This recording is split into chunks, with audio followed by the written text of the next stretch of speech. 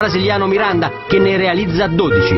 Alla fine, per i colori bianconeri, arriva un secondo posto alle spalle dell'Inter di Elenio Herrera.